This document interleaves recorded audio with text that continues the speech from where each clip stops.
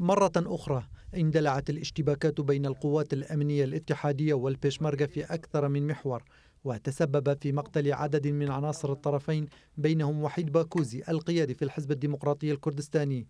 بدأت هذه الاشتباكات بعد أن انطلقت الآليات المدرعة الاتحادية من منطقة زمار شمال غرب الموصل باتجاه معبر فيشخابور الحدودي مع سوريا.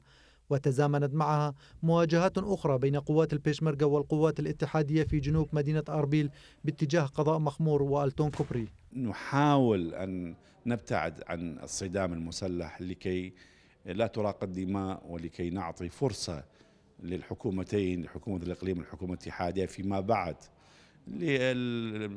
للمحادثات ولحل المشاكل. وحذر مجلس أمن إقليم كردستان من هجوم القوات الاتحادية على مواقع قوات البيشمركة شمال غرب مدينة الموصل داعيا المجتمع الدولي إلى الضغط على بغداد لوقف هذا التقدم وسحب جميع القوات من المناطق المجاورة والقبول بعرض حكومة الإقليم لإجراء محادثات غير مشروطة لتسوية الخلافات السياسية. طبعا هذه الاشتباكات ليس من جانبنا وإنما هو من قبل الحشد الشعبي وهو يهاجمنا ولم يتق... لم يتوقفوا في النقطة فيجب أن يتوقفوا من النقطة لكي نبدأ بالحوار وطلبنا الحوار.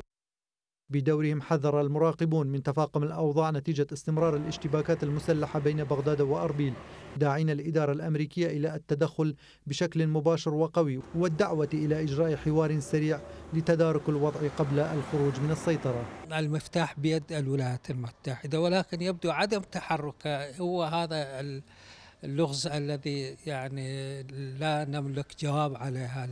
يأتي هذا التصعيد في وقت تطالب الحكومة الاتحادية من القيادة الكردية بإلغاء نتائج الاستفتاء قبل الدخول في أي حوار معهم فيما عرضت حكومة الإقليم على بغداد تجميد نتائج هذا الاستفتاء. حميد زباري الحرة أربيل.